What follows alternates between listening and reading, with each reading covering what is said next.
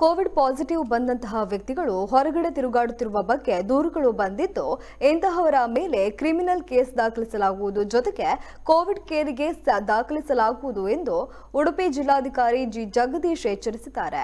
ಜಿಲ್ಲೆಯ ಗ್ರಾಮೀಣ ಭಾಗದಲ್ಲಿ ಕೋವಿಡ್ ಸೋಂಕಿನ ಪ್ರಕರಣಗಳು ಹೆಚ್ಚು ಕಂಡು ಬಂದಿದೆ. ಯಾರಿಗೆ ಪಾಸಿಟಿವ್ ಬಂದಿರ್ತದೆ ಅಂತಹವರಲ್ಲಿ ಮನೆಯಲ್ಲಿ ಸರಿಯಾದ ವ್ಯವಸ್ಥೆ ಇಲ್ಲದಿದ್ದರೆ ಕೋವಿಡ್ ಕೇರ್ ಸೆಂಟರ್ನಲ್ಲಿ ವ್ಯವಸ್ಥೆಗಳನ್ನು ಕಲ್ಪಿಸಲಾಗಿದೆ ಎಂದಿದ್ದಾರೆ. ಪ್ರಮಾಣ ನಿಮಗೆ ಈಗಾಗಲೇ ಗೊತ್ತಿರೋ ಹಾಗೆ ಸುಮಾರು ಒಂದು ಸಾವಿರದಿಂದ ಒಂದು ಸಾವಿರದ ಇನ್ನೂರು ಕೇಸ್ಗಳ ನಡುವೆ ಬರ್ತಾ ಇದೆ. ಪಾಸಿಟಿವಿಟಿ ರೇಟ್ ಇನ್ನೂ ಸಹ ಕಡಿಮೆ ಆಗ್ತಾ ಇಲ್ಲ. ಯಾಕೆಂದರೆ ಗ್ರಾಮೀಣ ಪ್ರದೇಶದಲ್ಲಿ ಹೆಚ್ಚಿನ ಸೋಂಕು ಕಂಡು ಬರ್ತಾ ಇದೆ. ನಾನು ಸಾರ್ವಜನಿಕರಲ್ಲಿ ಮನವಿ ಮಾಡೋದು, ಯಾರಿಗೆ ಪಾಸಿಟಿವಿಟಿ ಪಾಸಿಟಿವ್ ಬಂದಿದೆ, ಅವರು ಹೊರಗಡೆ ತಿರುಗ್ತಾ ಇದ್ದಾರೆ ಅಂತ ನನಗೆ ಒಂದಿಷ್ಟು ಕಂಪ್ಲೇಂಟ್ಗಳು ಬಂದಿದೆ. ಯಾರು ಆ ಥರ ಕಂಪ್ಲೇಂಟ್ ಬಂದರೆ ಅಂಥವ್ರು ಸಿಕ್ಕರೆ ಅಂಥವ್ರ ಮೇಲೆ ಕ್ರಿಮಿನಲ್ ಮೊಕದ್ದಮೆ ದಾಖಲು ಮಾಡ್ತೀವಿ. ಮತ್ತು ಅವ್ರನ್ನ ನಮ್ಮ ಕೋವಿಡ್ ಕೇರ್ ಸೆಂಟ್ರಿಗೆ ಶಿಫ್ಟ್ ಮಾಡ್ತೀವಿ.